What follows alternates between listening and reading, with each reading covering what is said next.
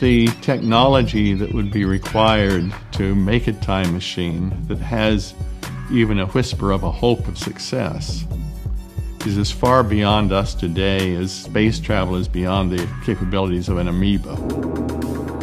Time travel seems unlikely if we approach it purely as a matter of taking a person or information from the present and transporting it to the past.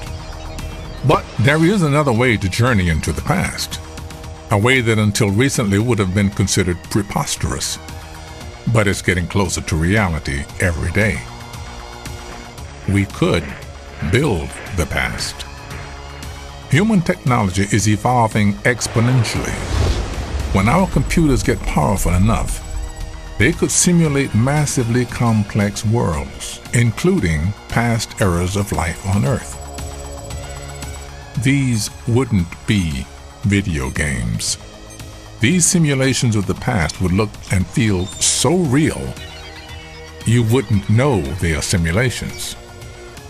If you really want to go into the past, you're going to have to go into the extreme far future. In the extreme far future, they will have the ability to reproduce the past.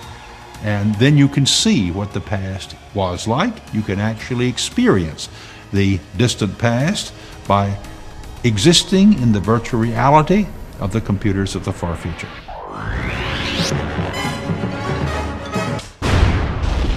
Time travel into the past might be theoretically possible, but it requires inconceivable amounts of energy and godlike technology. Our best hope may lie in computer recreations of times past. So it looks like we won't be able to go back in time to visit the people we've lost or correct the mistakes we made when we were young. For now, at least, we can't turn back the clock. But we'll keep trying. We will keep trying.